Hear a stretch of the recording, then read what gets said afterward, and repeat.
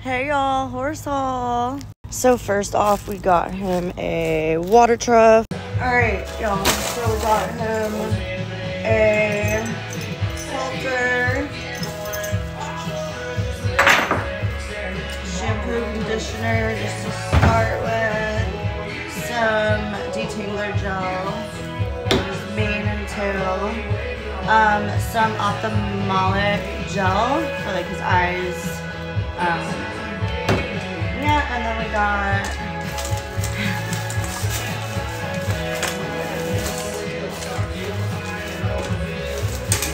a bunch of flea, tick, and fly um, treatment stuff.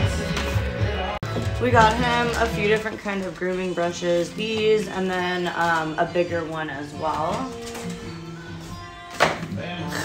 We got him a lead rope and a nice lunge line.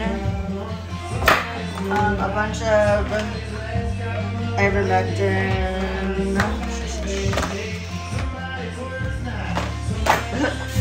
um, I got a bunch of spurs.